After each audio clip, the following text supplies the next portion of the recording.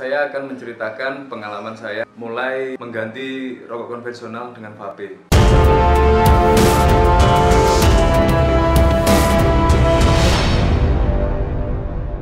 Dulu waktu saya beli vape itu di Malang dan saya tidak pernah merasakan vape sebelumnya, menghisap pun belum pernah.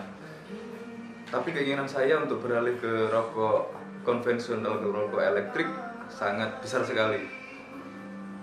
Sampai-sampai saya berani memberanikan diri untuk membeli vape. Padahal saya belum pernah yang namanya menghisap vape, memegang vape pun belum pernah. Akhirnya saya ke vape store yang berada di Malang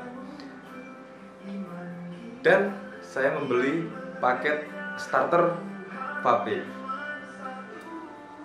Dan akhirnya sama masnya itu dikasih vape yang kecil yang buatnya kalau nggak salah cuma 30 harganya 300 ribu pada waktu itu. Dan saya pun menghisap vape langsung buat buat buat buat tuh.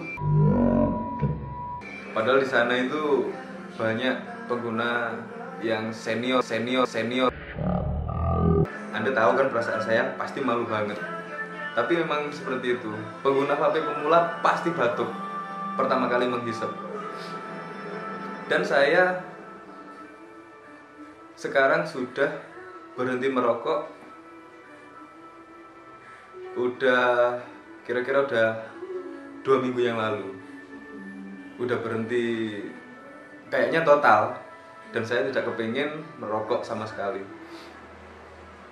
Dan anda kalau pengguna vape pertama jangan terlalu fokus kepada tutorial wicking yang benar, ngisep yang benar. Itu terserah anda. Terserah anda yang penting anda tidak batuk.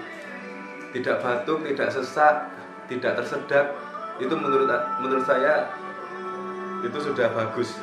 Seperti pengalaman saya itu pernah saya membuat membuat sumbu sendiri bikin bikin sendiri dan itu disalahkan. Saya juga pernah menghisap vape itu disalahkan. Ngisep vape itu jangan jangan kayak merokok dan ngisep vape itu harus langsung di blow. Itu menurut saya ya suka-suka gua.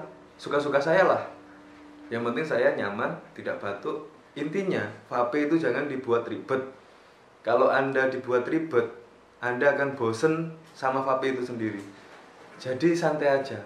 Vape itu is kayak rokok aja wis. Seperti saya sekarang saya bisa berhenti merokok gara-gara vape karena saya tidak terlalu fokus kepada tutorial tidak terlalu fokus kata temen yang bener yang mana yang salah yang mana yang penting saya nyaman itu aja. Yang menurut saya itu aja dulu.